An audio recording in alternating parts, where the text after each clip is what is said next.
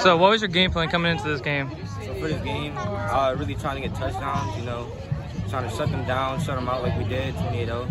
And, you know, it's a team effort. All the teams contributed, especially the defense, blocked a few kicks, blocked a few field goals. You know, it's a full team effort. Did you plan to get the ball more in the second half? Yeah, in the second half, I was really expecting the ball after the first touchdown. Uh, shout out to Ethan, the O-line, Bryce Bougie with the block. So really, shout out to everyone and that let it happen, you know, with the blocks. It, it really all adds up. All right. How do you feel about your next week's opponent? Next opponent, I think we'll do the same. Definitely do the same. All right. Shout them out again. All right.